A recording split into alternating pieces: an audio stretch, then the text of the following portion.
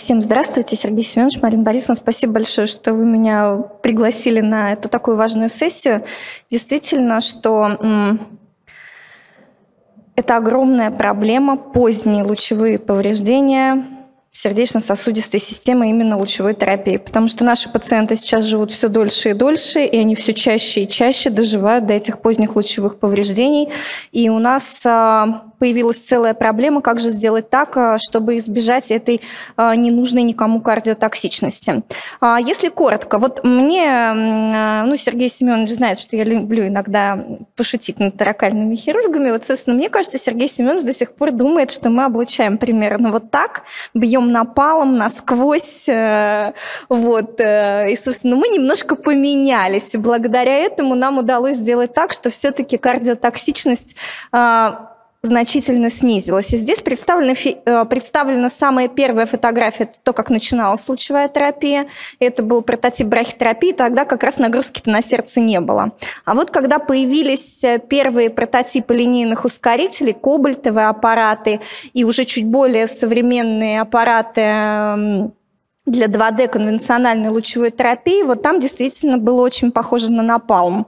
А здесь представлены реальные а, снимки реальных планов лучевой терапии онкологического центра, причем на самом деле это не такие старые снимки, это всего-навсего 2007 год. Это до, до смены поколения оборудования. Здесь представлено лечение парастернального коллектора при раке молочной железы. И очень четко видно даже не радиотерапевтом, насколько большой объем сердечной мышцы попадает в объем лучевой терапии. А, и здесь представлены снимки лечения рака легкого.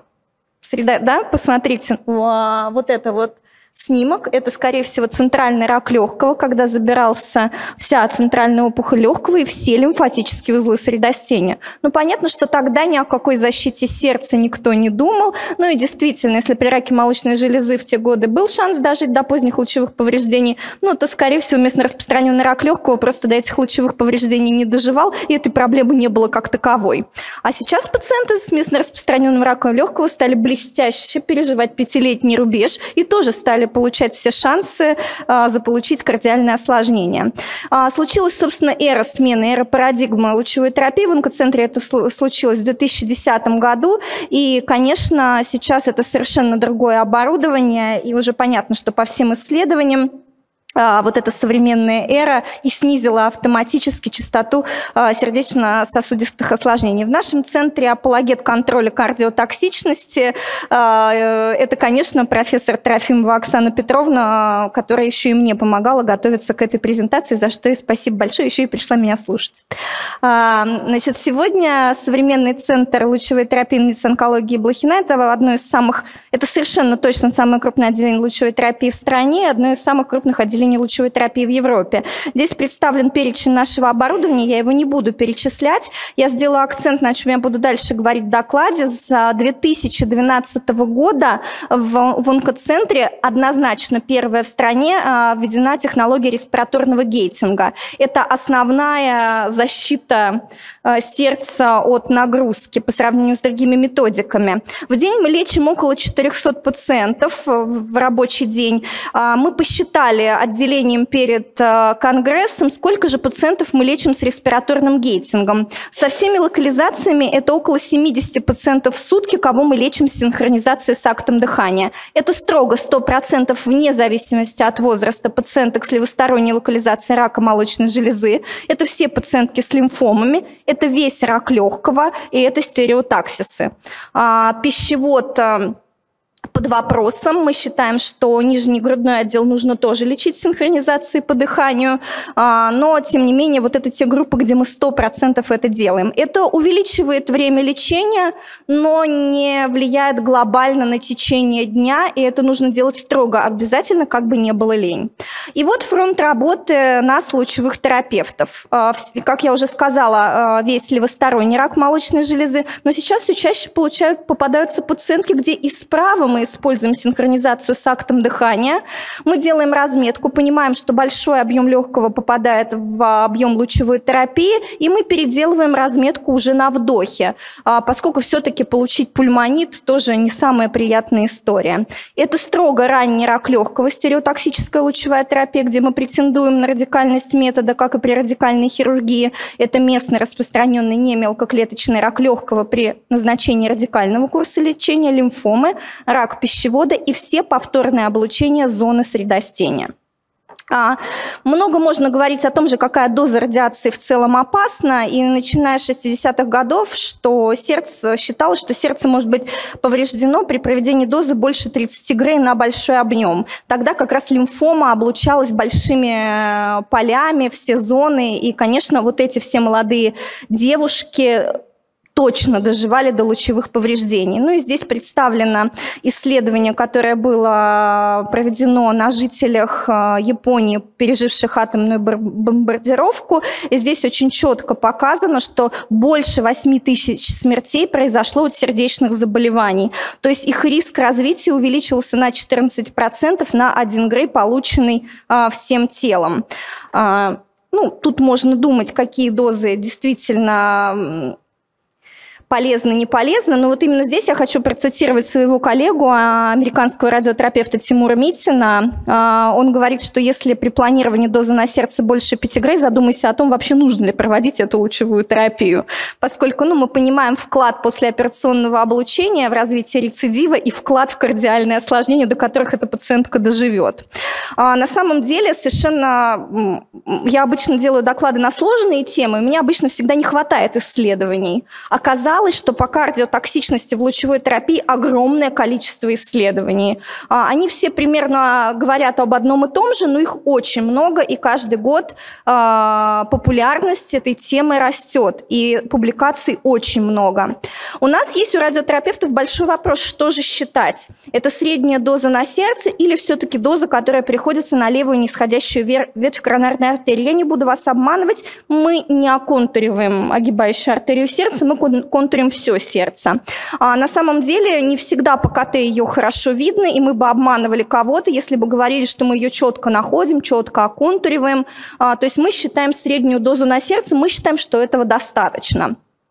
А, сейчас не переключается почему-то. А, нисходящую, да. А, значит, чего же мы боимся? А, мы, конечно, боимся сочетания с антрациклинами, и мы, естественно, что боимся кардиальных осложнений сроком больше 10 лет. Но еще очень большой вопрос а, вообще, какая пороговая доза радиации на сердце, какая часть сердца является наиболее радиочувствительной, какую мы должны выбрать точку отсчета и какие дозы радиации влияют на поздние лучевые повреждения. Эти вопросы, которые на сегодняшний день, несмотря на большое количество исследований, не решены. А почему вообще сложно связать э, кардиальную патологию с лучевой терапией? Ну, потому что это происходит а, само, ну, в довольно поздние сроки. Отследить анамнез, точно доказать, что инфаркт связан с лучевой терапией, практически невозможно. И, конечно, может быть и нет отсутствия документации. Если эти пациенты получали лечение 15-20 лет назад, то эту документацию можно уже просто не найти и не понять, какая доза действительно пришлась на сердечную сердечную мышцу из вот этих вот э, интервалов. Ну и потом у пациентки могла быть терапия антроциклинами, и доказать, кто внес свой весомый вклад в различие кардиальной патологии, могут, наверное, только весомо сказать кардиохирурги, которые уже увидят эти потрясающие сосуды и точно скажут, что это воздействие лучевой терапии. А, ну, здесь представлены графики сердечно-сосудистых осложнений у пациентов, которые перенесли рак в детстве, и здесь показаны дозы, полученные сердцем, и сроки от времени проведения лучевой терапии. А, я скажу честно, я ни разу в своей клинической практике не встречалась с острыми повреждениями сердца после лучевой терапии. А, поздние лучевые повреждения, эти пациенты оказываются уже не у нас на лечении, поэтому мы их ну, просто не видим в силу того, что они уже просто сняты ну, даже с учетов у онкологов. Но, тем не менее, это тот перечень осложнений, которые э, являются последствиями непосредственно лучевой терапии. Какие же у нас есть технические пути решения? Ну, первое – это точно отказ от лучевой терапии. Там, где это возможно, это взвесить э, найти ту группу больных, у кого проведение лучевой терапии просто не нужно. И это будет самым лучшим э, профилактикой сердечно-сосудистых осложнений. А, одно из самых простых историй – это, конечно, изменение положения тела пациентки. Сейчас это покажу. Этому посвящено самое большое количество работ. Уменьшение объемов лучевой терапии. Это сейчас актуально и при лимфоме, и при раке легкого, и, конечно, при раке молочной железы. Технологии планирования лучевой терапии, использования МРТ и ВИМАТ, хотя мы являемся ярыми противниками этих современных технологий в лечении рака молочной железы, да. А, ну, это может быть отдельная лекция, почему мы так считаем. А, мы используем а, не совсем классическое 3D-конформную лучевую терапию, а, такое некое адаптированное к МРТ-технологиям, ну, Сейчас, к сожалению, нет на это времени, чтобы это обсудить. И, конечно же, одно из самых главных – это синхронизация с актом дыхания, это респираторный гейтинг. И вот это очень э, свежая работа, январь 22 года, вышедшая в журнале медицинских физиков. Э, посмотрите, какие разные по позиции положения пациентки для лечения рака молочной железы используют. Потому что, конечно, основная масса работ направлена именно на эту нозологию. Э, это так называемая prone position, то есть когда пациентка лежит э, на животе животе, и молочная железа свисает в специальное углубление. Но это подходит не для всех пациенток, это по факту для пациенток только с ранним раком молочной железы, когда нам не надо облучать зону регионарного лимфооттока. Но именно эти пациентки и претендуют на более длительную продолжительность жизни, и для них это, конечно, кардиальная патология очень актуальна. Но здесь выбраны две позиции. Меня это очень удивило, я раньше с этим не встречалась. А, я так понимаю, что позиция дайвера, посмотрите, согнутые колени и обе руки подняты. И а, я сейчас представлю результаты этого исследования. И также, посмотрите, одна рука опущена, одна поднята, одна опущена.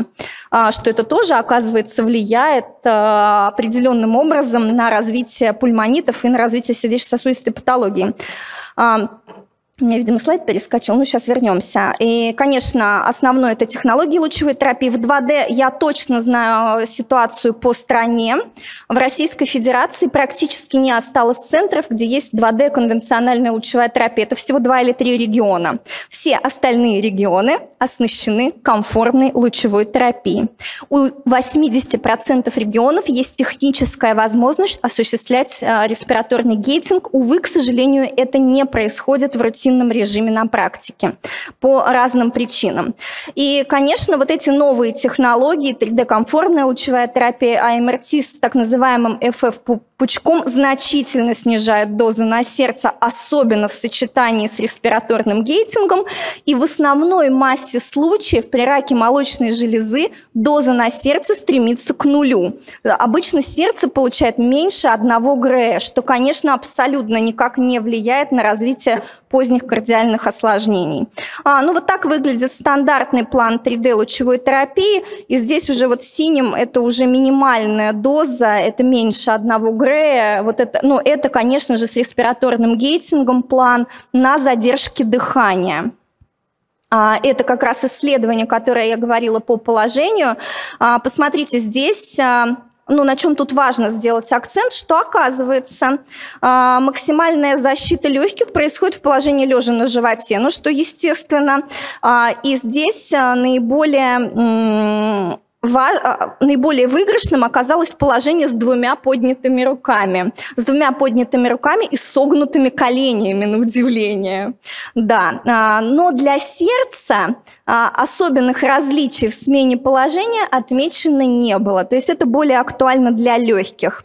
Но оказал, все-таки авторы работы говорят, что в положении лежа на животе с одной поднятой рукой доза на сердце является самой минимальной, но погрешность очень незначительная значительная. Поэтому я не уверена, что данную историю нужно воспроизводить в реальной клинической практике. Мы вряд ли получим какие-то глобальные изменения. И это все, конечно, нужно делать с задержкой дыхания. Это то, что реально снижает нагрузку.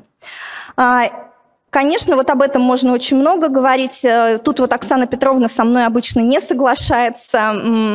Я сторонница деэскалации дослучевой терапии при раке молочной железы и деэскалации объемов облучения. Я за отказ от лучевой терапии у группы больных а, при У нас все работы с лучевой терапией связаны с исследованиями, с другой химиотерапией, с другой таргетной терапией, а, где, конечно, лучевая терапия вносила в свой вклад, а, больший вклад в безрецидивную выживаемость. Сейчас, конечно, хочется пересмотреть свои подходы и хочется части, большей части больных отказывать в лучевом лечении.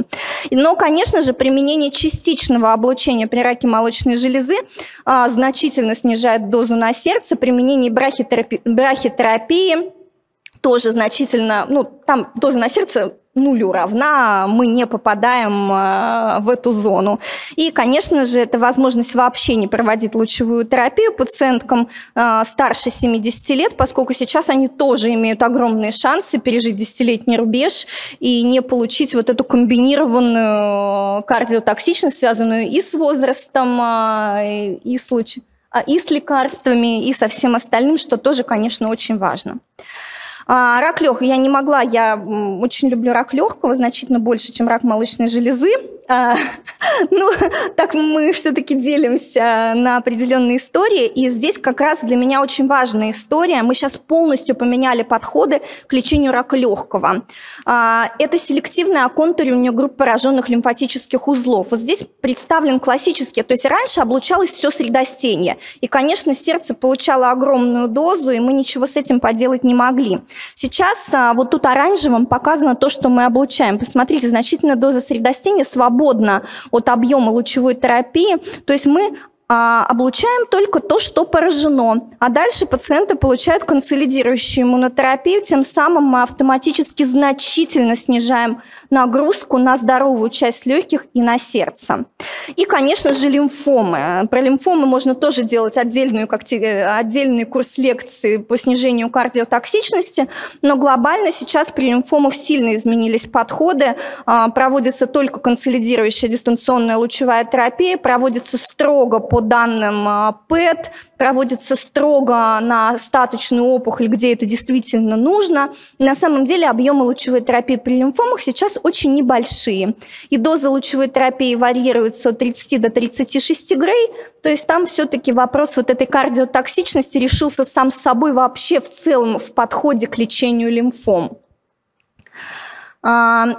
И, конечно же, вот то, что мы уже говорили, это 3D-планирование, и здесь вот хирургическая история, что, конечно, чтобы нам сделать аккуратный буст и снизить нагрузку на сердце, нам очень важно хирургическое клипирование ложа удаленной опухоли, когда мы точно видим а, ту зону, которую нам нужно облучать, и плюс мы очень легко можем воспроизводить укладки, и, а, конечно же, для нас очень важная история. Сейчас идет, ведется огромная работа с регионами по выбору объемов лучевой терапии, а, поскольку это действительно очень тонкая история, как объемы выбрать правильно, поскольку, увы, к сожалению, иногда превышают объемы чисто технически, и из-за этого физика не может сделать адекватный план и получает большую нагрузку на сердце. Мы обычно, когда приезжаем в регионы, мне физики говорят, вы знаете, у нас не получается адекватный план, у нас очень большая нагрузка на сердце. Я говорю, давайте проверять контуры врачей, скорее всего, что-то с ними не так, а не в программе физиков проблема.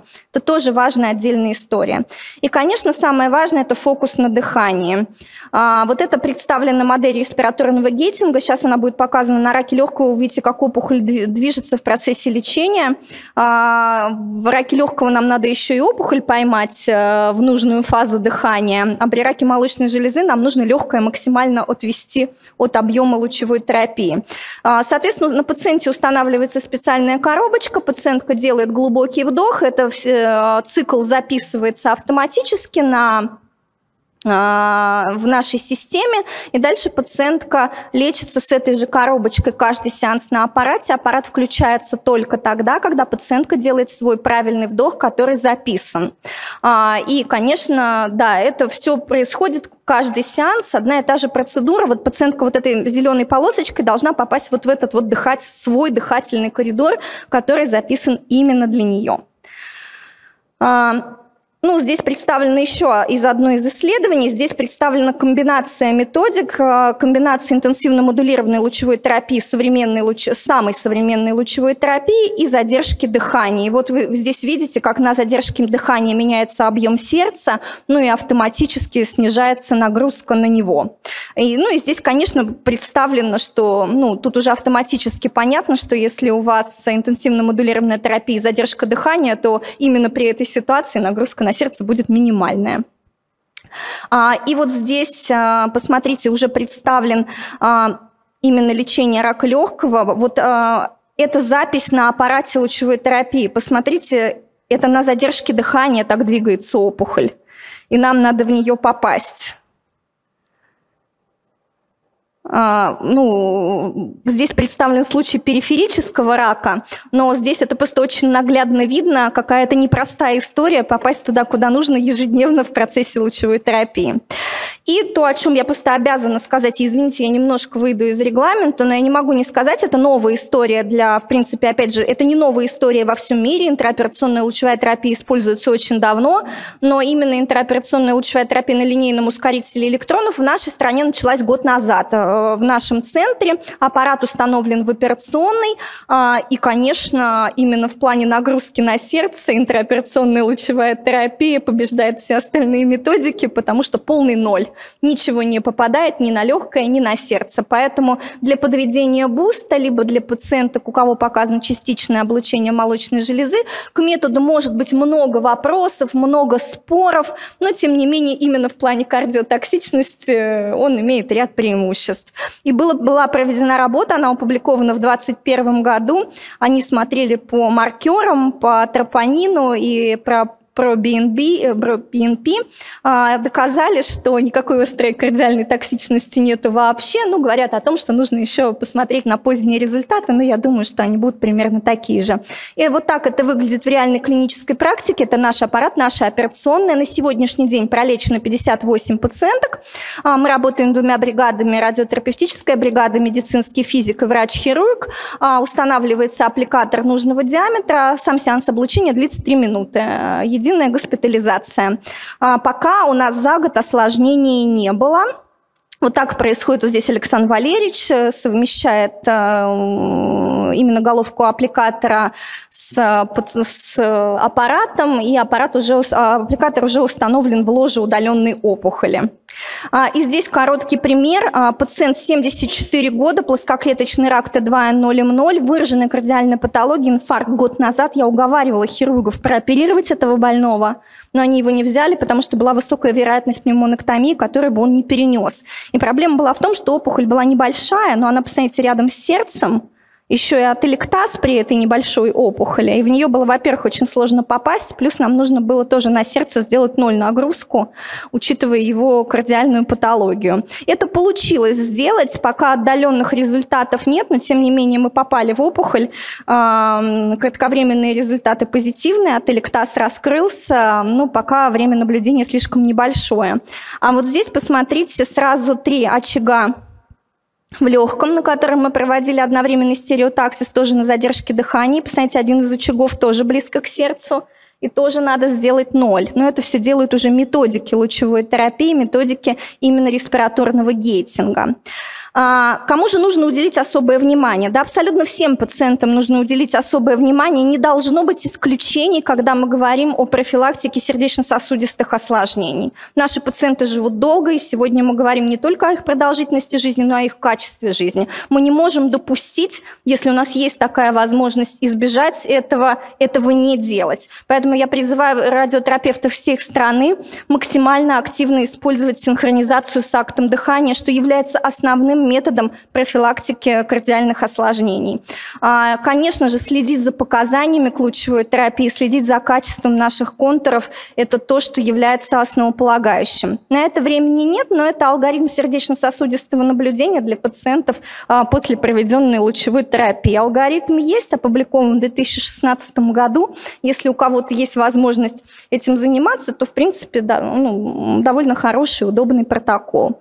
Вот. Ну и я благодарю благодарю мое большое, самое большое отделение в стране за поддержку и моим коллегам за возможность здесь выступить. Спасибо большое. Спасибо.